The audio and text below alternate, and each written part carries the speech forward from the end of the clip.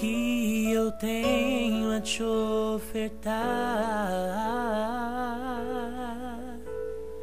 é um quebrantado coração. Eu queria ter muito, muito mais, mas tudo que eu tenho porta do coração.